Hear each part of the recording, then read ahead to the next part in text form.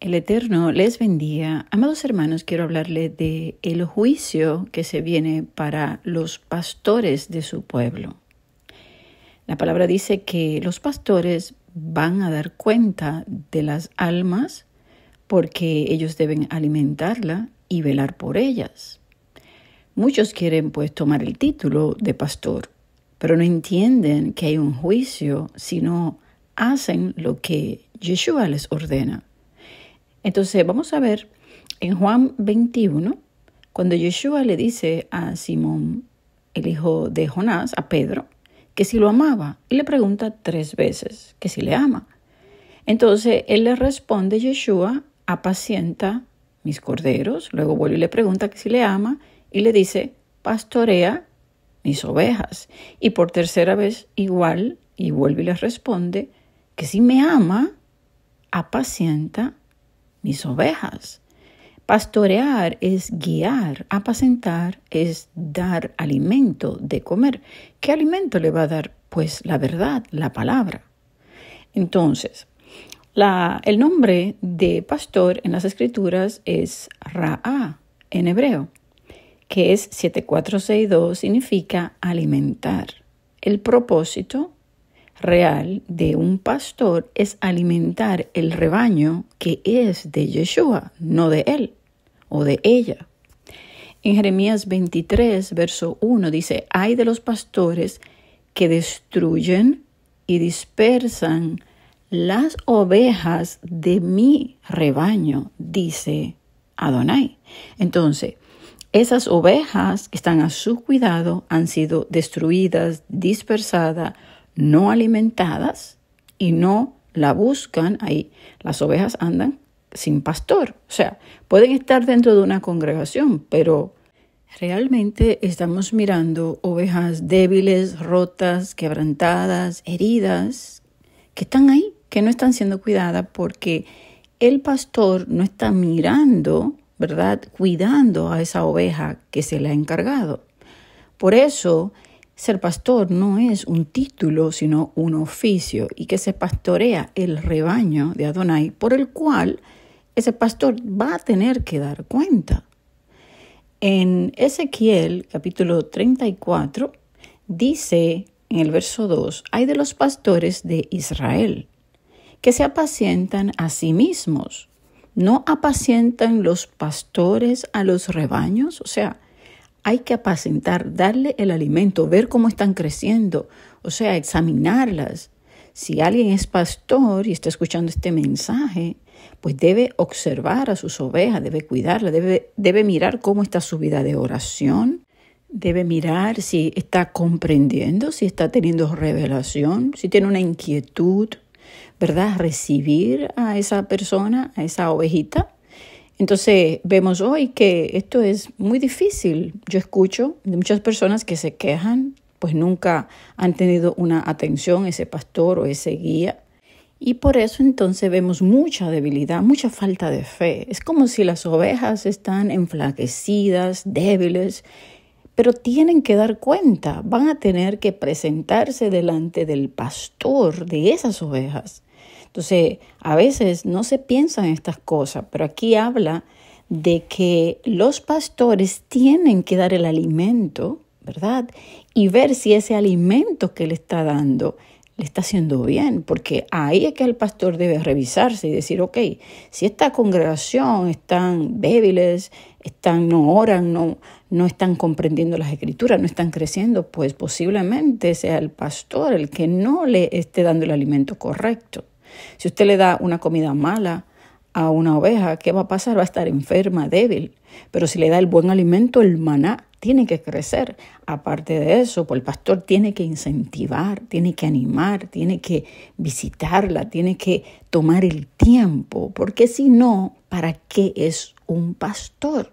Aquí dice que el que ama a Yeshua va a apacentar, va a guiar ese rebaño, le va a importar más que su propia vida. Es alguien que se va a dedicar completamente. Entonces, dice aquí que aquel que no le hace, viene un juicio. Dice el verso 3, coméis la grosura y os vestís de la lana la engordada degolláis, mas no apacentáis a las ovejas. El verso 4 dice, no solamente que no le está apacentando, no le está dando el alimento, pero no está fortaleciendo a la débil. Están débiles. Esa palabra en hebreo es halá, que significa desgastado, enfermo, enflaquecido. Está como una oveja incurable que está enferma, está herida, está desalentada. ¿Saben cuántas personas están desalentadas hoy? Caídas, angustiadas y muchas de ellas están en grandes congregaciones. Pero nadie las atiende, están ahí, escuchan y ya se van a su casa, nadie le importa, nadie se preocupa. De hecho, muchas se van y nadie las va a buscar, nadie las llama. Y sin embargo, aquí está diciendo que viene un juicio para aquel que es pastor o guía, ¿verdad?, de alguien, porque estas ovejas están en espera de ese maná, de esa palabra, ¿verdad? De esa guía. Entonces, si esta oveja se descarría y se va y no la va a buscar, pues también le va a llegar pues ese juicio.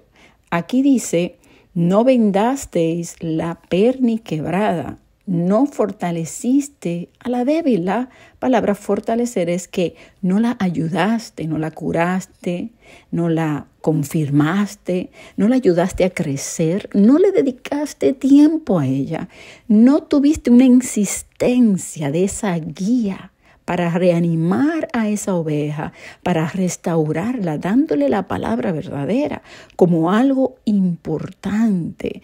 Invitar también, cuando tú invitas a las ovejas a venir al camino para repararla, dice, no la curaste, que es la palabra hebrea rafa, no la arreglaste, no la cuidaste para restaurarla. Están heridas, que es la palabra shabar, que es dañada. Es una oveja que está destruida, rota, despedazada, humillada, molida. ¿Saben cuántos hay por ahí tristes, caídos y nadie los busca? Dice que no la vendasteis tampoco, que es la palabra habash. No la ceñiste, no la envolviste firmemente para cuidarla. Está quebrantada, está rota. No buscaste la perdida, o sea, no la hiciste volver a Elohim. Teshuvah en arrepentimiento y convertirse por medio del nuevo pacto, que es la Torah, la ley, en la mente, en el corazón, no la hiciste volver. Están ahí, están ahí y no entienden nada. A veces uno le pregunta cómo es su vida espiritual, no oran, no entienden las escrituras.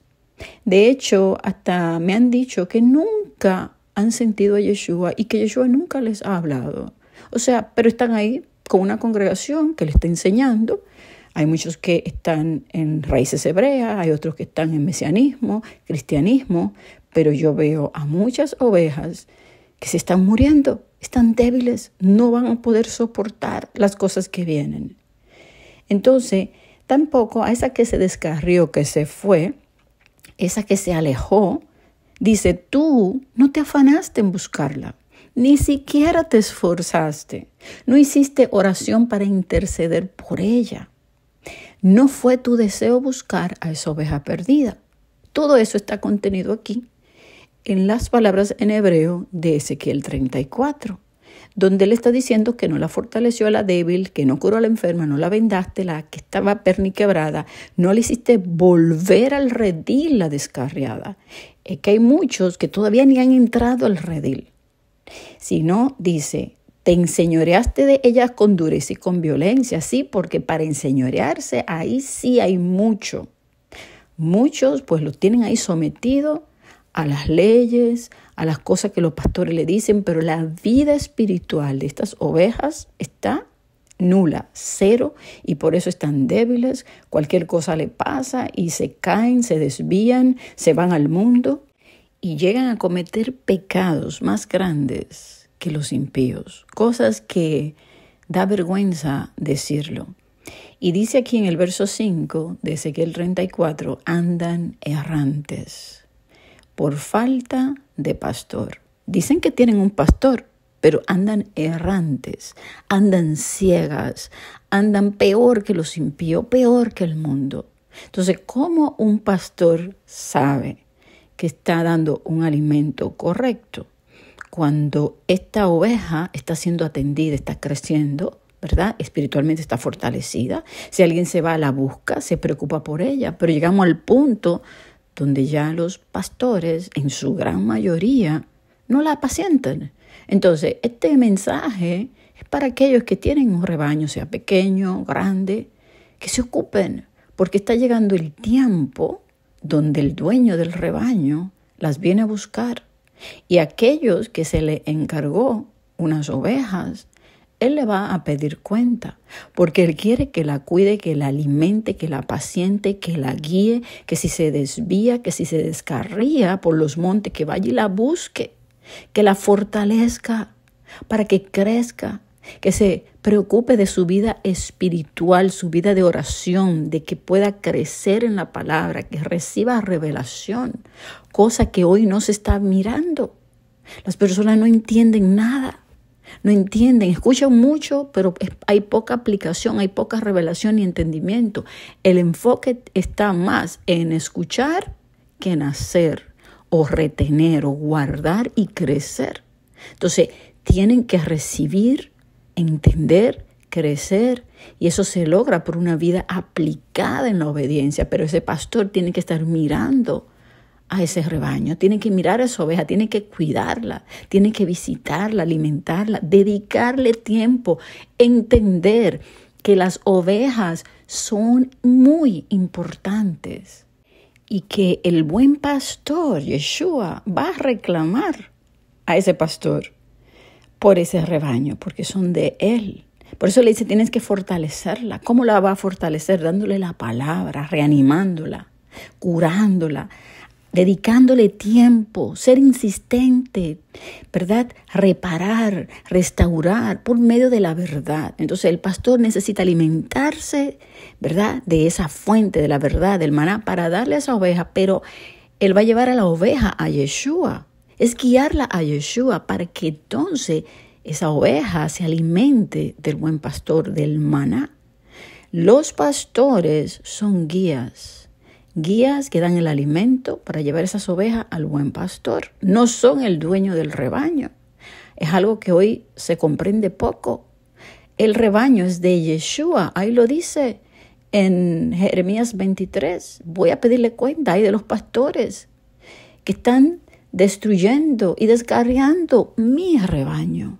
Entonces el rebaño de él, él va a pedir cuenta y si alguien tomó este título de pastor, pues que tome el oficio de ser un guía que le da el alimento, el maná, para llevar las ovejas a Yeshua, porque Yeshua es que la va a purificar, la va a limpiar, la va a fortalecer, la va a curar. Le damos la palabra y la empujamos hacia Yeshua para que crezca y se fortalezca.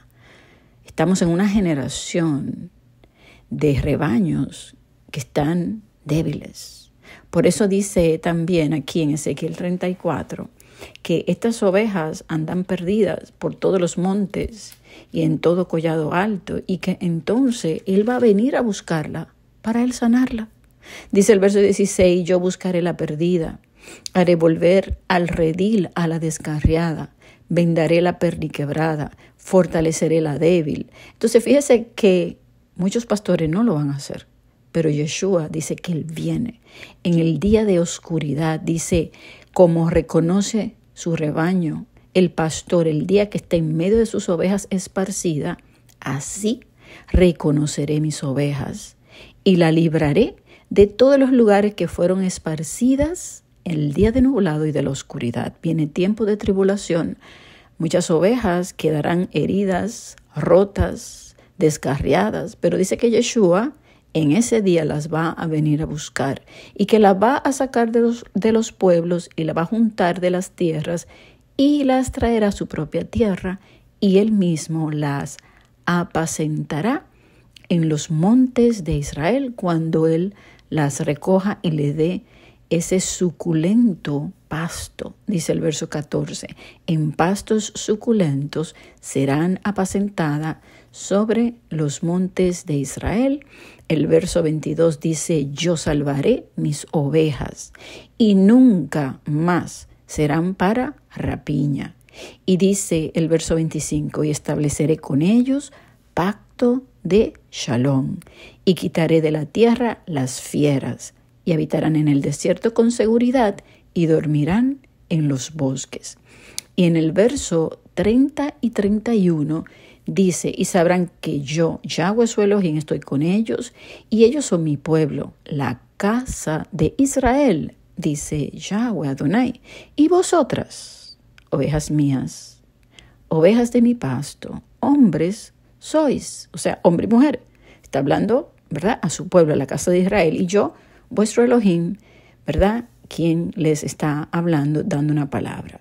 Entonces, si eres pastor, toma el consejo, ¿verdad? Hay tiempo, porque si no, un juicio viene sobre ti. Y si eres oveja y tú estás en la condición de herida, perniquebrada, descarriada, busca al pastor, a Yeshua. Y si eso no ocurre, ¿verdad? Porque todavía hay muchas ovejas rebeldes, tenemos la esperanza de que en el día de la oscuridad Yeshua las viene a buscar, porque de lo de Él nada se perderá. Y podemos ver en Apocalipsis 7 esta gran multitud de toda raza, lengua y nación que Él guiará a esas fuentes de agua de vida. Al final, Él va a completar la obra que comenzó en cada uno de nosotros.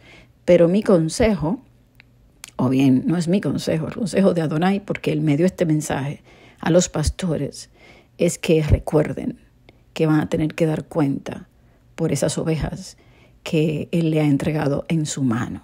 Amén. Shalom hermanos.